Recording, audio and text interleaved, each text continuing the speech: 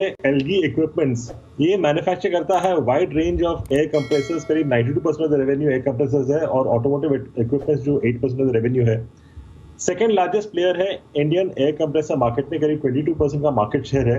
And among the top eight players globally और expansion कर रही है न्यू इंटरनेशनल मार्केट्स में to drive long term incremental growth करीब 50 परसेंट रेवेन्यू आता है फ्रॉम ओवरसीज मार्केट्स एलगी के जो Q3 के अर्निंग्स थे, काफ़ी अच्छे थे।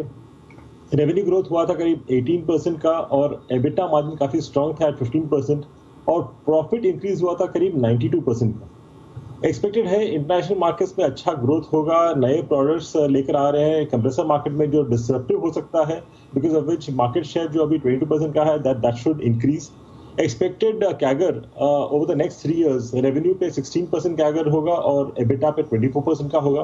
तो expected EPS for F Y twenty five करीब ट्वेल्व रुपीज़ फिफ्टी पैसे का है और uh, इससे मेरा टारगेट बनता है 560 का।